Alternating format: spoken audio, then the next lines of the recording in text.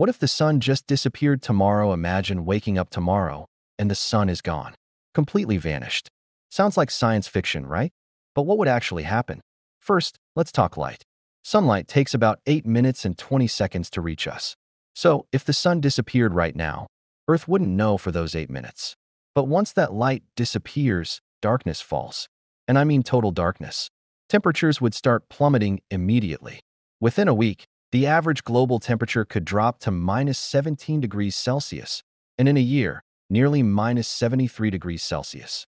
Oceans would freeze on the surface, and life as we know it would be in serious trouble. But it's not just light and heat. The sun's gravity keeps all the planets in orbit. Without it, Earth would fly off into space at the same speed it was orbiting, about 30 kilometers per second. No more seasons, no more stable orbit, just drifting into the void.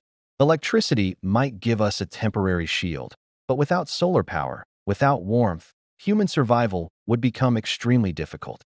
Plants would die without sunlight, food chains would collapse, and most species couldn't survive the cold and darkness.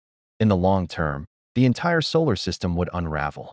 Planets, moons, and asteroids would no longer follow predictable paths. Our once stable cosmic neighborhood would become a chaotic dance of cold, dark bodies. So, if the sun disappeared tomorrow, life on Earth wouldn't last long, and our planet would become a frozen wanderer in space. A chilling reminder of just how much we depend on our star.